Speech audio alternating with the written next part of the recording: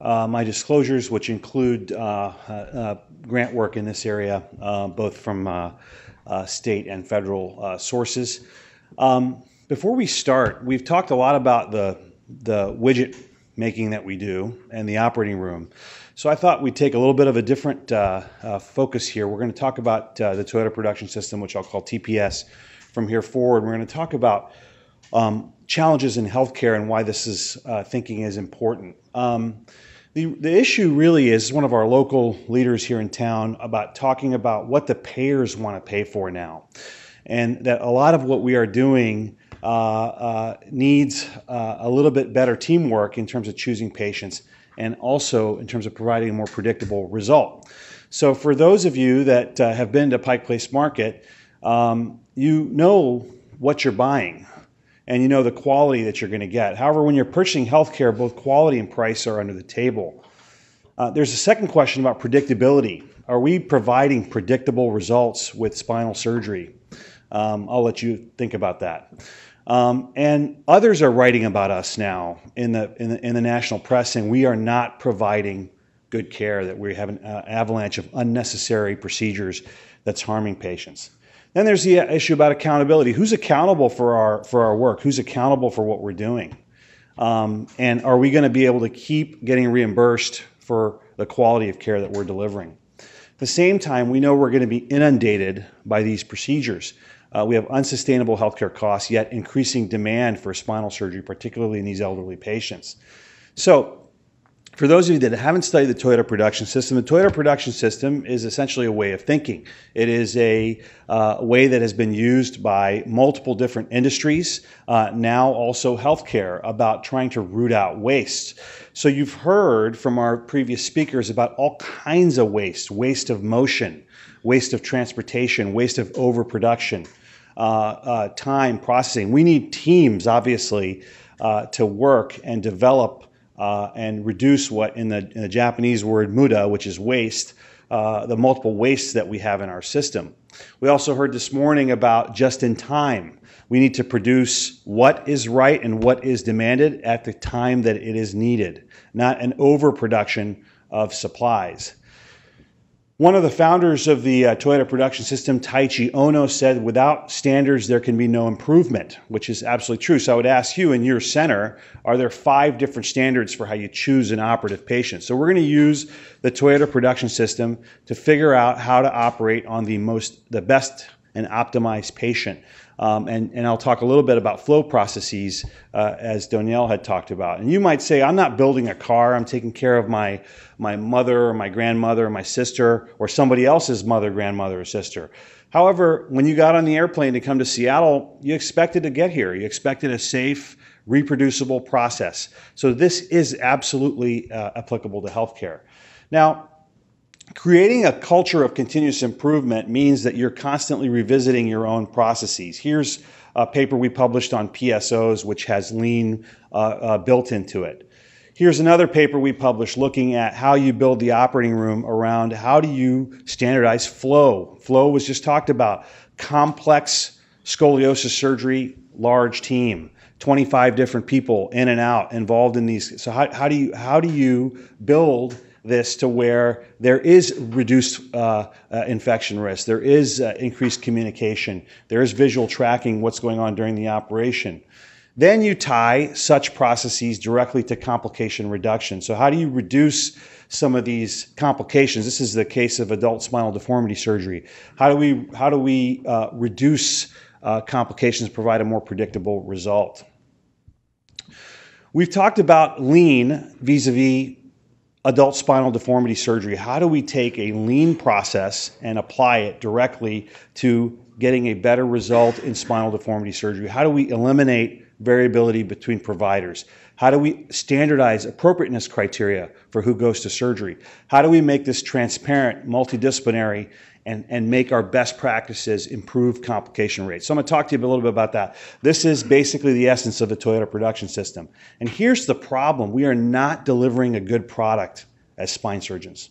Uh, and when we look at ourselves, we need to see what is the reason that this type of variability still exists uh, all over the country, and how it, why is it that we can't provide a more uh, uh, sustained and improved product.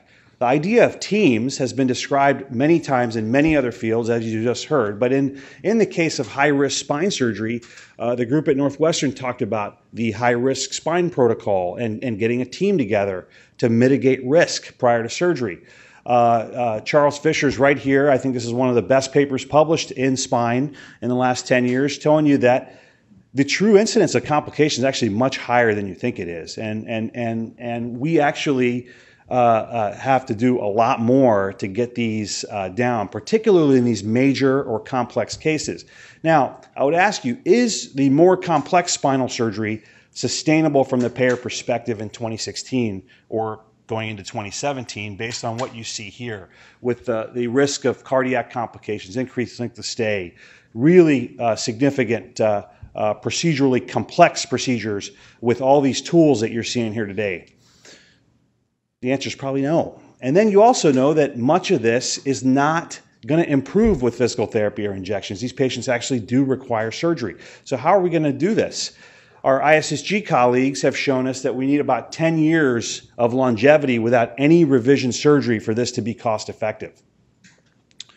Others, uh, i.e., Atul Gawande in the New Yorker, are, are writing about spinal surgery. They're writing that spinal surgery is an annuity uh, and that it is uh, fraudulently overabused in society, and we have to provide something better than that. So we have to look at this from all perspectives as to what other people are looking in on us and saying.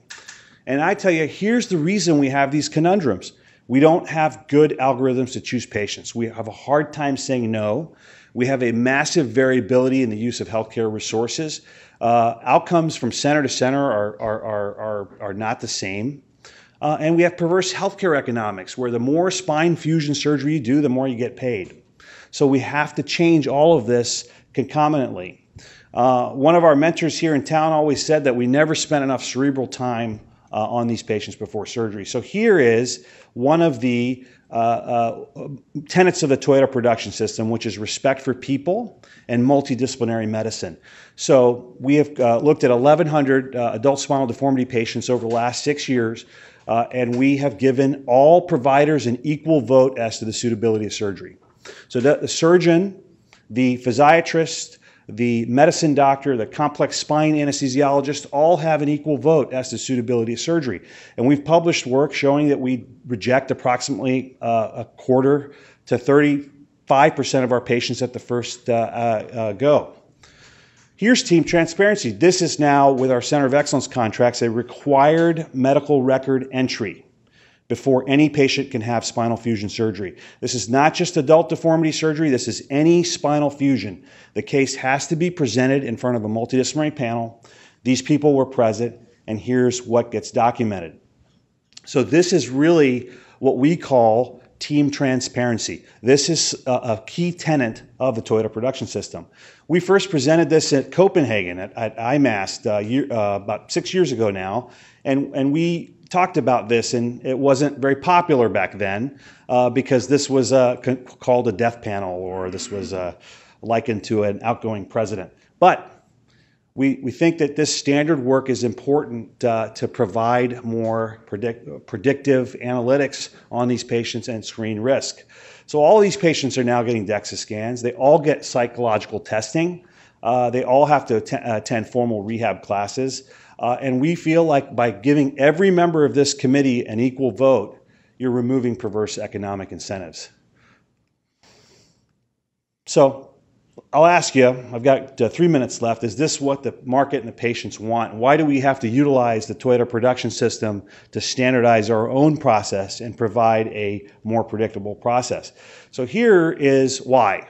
Here's a paper that's in press at Spine, uh, uh, being published by my current fellow on patients referred to uh, from 47 states offered spinal fusion in 47 states around the country and a multidisciplinary conference evaluation where uh, all of these individuals have an equal vote. We looked at 100 consecutive patients in this, in this uh, 143 consecutive patients in this series, and 100 uh, of these patients were offered spinal fusions at outside institutions.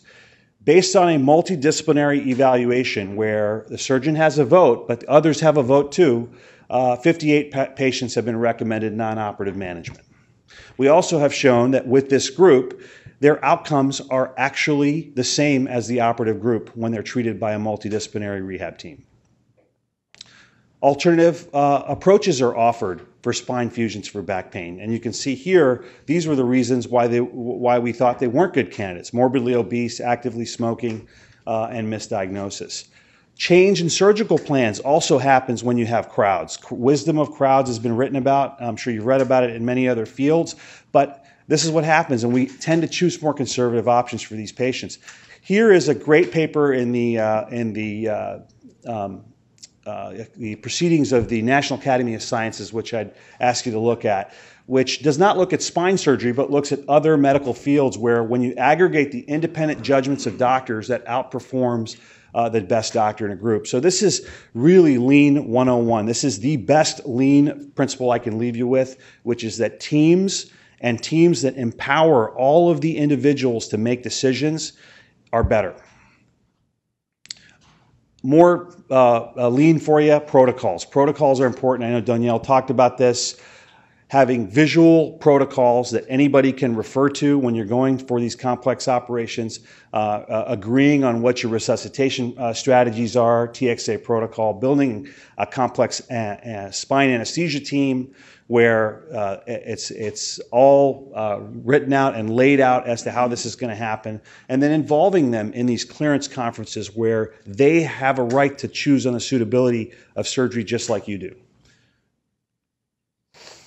The idea of two attending surgeons has been raised, uh, particularly by our colleagues in San Francisco, and we've also written a little bit about this, but particularly there, there are times when these operations should be done by two attending surgeons, particularly the three column osteotomies and particularly the more difficult and dangerous uh, procedures where uh, uh, uh, uh Chris and Vedat in San Francisco have shown significant improvement in all of their uh, negative indicators, as you can see here, particularly the time in surgery, blood loss, and rescheduled surgeries.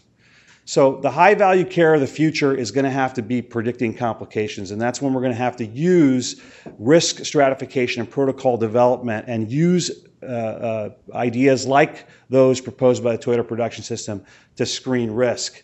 This is a, a, a score that we've developed, and I'm going to go through it very quickly. But again, we are trying to predictively model these patients to where we can score them and, and add even more data to say, is this patient in an optimized state to go forward with surgery or not? So here's a patient who's female, who's got a BMI of uh, uh, 40, who's anemic and who's diabetic in our system has a 92% risk of complications based on our uh, multivariate model with very good receiver operator characteristics.